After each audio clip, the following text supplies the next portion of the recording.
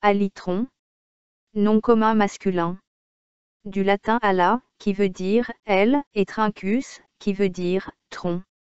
En zoologie, la partie postérieure du tronc des insectes sur laquelle les ailes sont placées.